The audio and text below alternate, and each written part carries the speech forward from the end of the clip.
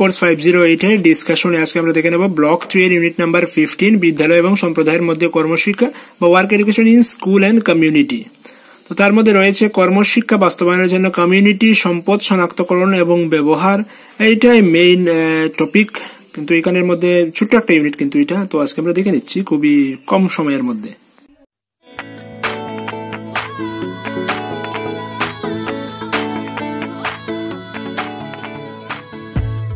সম্প্রদায় বা কমিউনিটি কি, সেটা আমরা বুঝে গেছিলাম কিন্তু ফাইভ জিরো সেভেনে ফাইভ জিরো সেভেন পুরোটা কিন্তু কমিউনিটি বা সম্প্রদায় নিয়েছিল তো সম্প্রদায় বা কমিউনিটি কি তারপরে এখানে দেওয়া আছে? দেখে নিয়েছি সম্প্রদায় একটি নির্দিষ্ট জায়গায় বসবাসকারী মানুষের একটি দল এবং যা সমানভাবে উপলব্ধ উৎস থেকে তার প্রয়োজনীয়তা পূরণ করে এবং পরস্পর নির্ভরশীল মানুষের সংগঠন, সেটাই হচ্ছে সম্প্রদায়।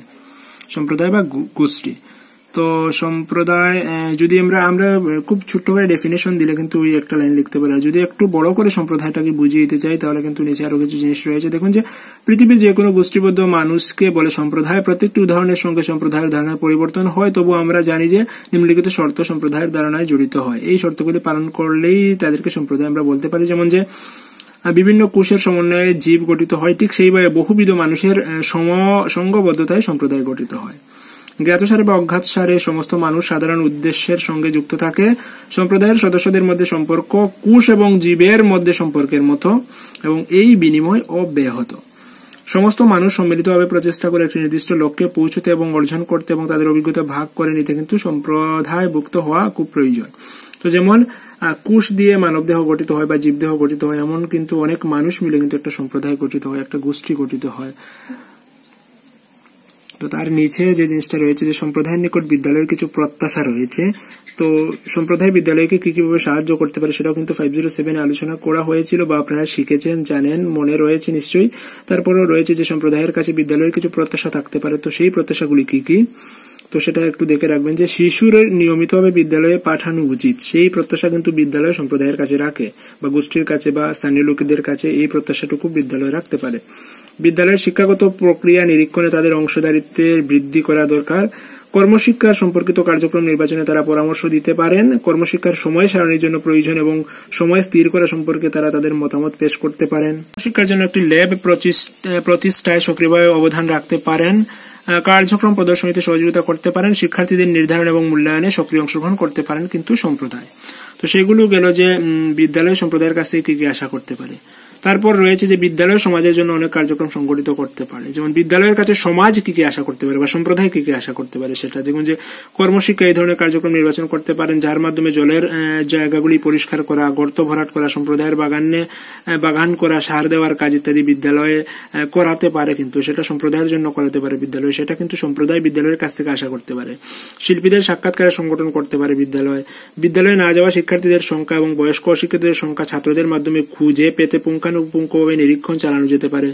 সেই কাজটা কিন্তু সম্প্রদায়ের বা সংগঠনের বা গ্রামের জন্য খুবই উপকার হবে যদি বিদ্যালয় সেটা করে। বিদ্যালয়কে পালস পোলিও ইত্যাদির প্রচারের জন্য বিদ্যালয়ের প্রাঙ্গণ ব্যবহার আবশ্যিকভাবে দিতে হবে এবং করতে হবে। এগুলো কিন্তু সম্প্রদায় দাবি করতে পারে বিদ্যালয়ের কাছ থেকে এগুলো করার জন্য।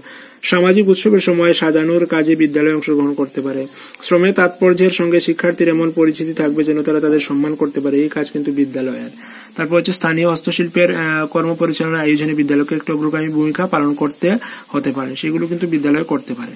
তো বিদ্যালয়ের জন্য সম্প্রদায় কি করতে পারে, সম্প্রদায়ের জন্য বিদ্যালয় কি কি করতে পারে বা সমাজের জন্য বিদ্যালয় কি কি করতে পারে, এগুলো কিন্তু আমরা দেখলাম।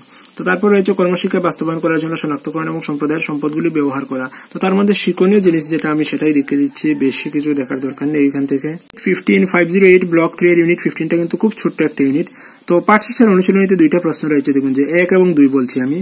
একজন শিক্ষক হিসেবে আপনি পিতামাতাদের গ্রামীণ পরিবেশে তাদের সন্তানদের শিক্ষার বিষয়ে পিতামাতাকে সচেতন করতে এবং কর্মশিক্ষার সঙ্গে যুক্ত করার জন্য কি প্রচেষ্টা করবেন? অথবা কর্মশিক্ষার উন্নয়নে পিতামাতার সাথে যোগাযোগ করার জন্য আপনি কোন কোন পদ্ধতি ব্যবহার করবেন? এই দুটো প্রশ্নের উত্তরগুলো আমরা দেখে নিচ্ছি। একটাই উত্তর হবে এই দুটো প্রশ্নের জন্য, কিন্তু কন্টেম্পোরারি প্রশ্ন দুটো। তো উত্তরগুলো ফিফটি এইট এবং ফিফটি নাইন নাম্বার পেজে পাবো, এখন দেখে নিচ্ছি। শিক্ষার তাৎপর্য সম্পর্কে পিতামাতা এবং সম্প্রদায়ের জন্য অভিমুখীকরণ প্রোগ্রামের সংগঠন রয়েছে এখানে। তো সেটাই হবে আমাদের আনসারটা। তো এখানে কি, এই যে এই পেজটা ফিফটি এইট থেকে দেখে নেবেন, সেটা ওইখান থেকে দেখবেন। এক্ষেত্রে কি কি কার্যক্রম করা যায়? যেমন পিটিএ মিটিং করা যায়।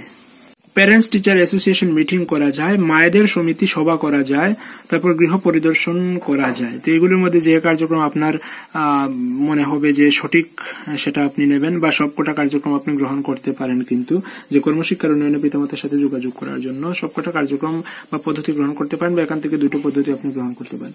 তো এই এতটুকু শিখলেই কিন্তু আপনার যে প্রশ্ন দুটো দেখে দিলাম, এইটার আনসার হয়ে গেছে, যাচ্ছে। সেটা আমি ভেতর আর পড়ছি না, আপনারা দেখে নেবেন। আর এরই সাথে কিন্তু আমাদের এই ছোট্ট ইউনিটটা কিন্তু সমাপ্ত হয়ে যাচ্ছে।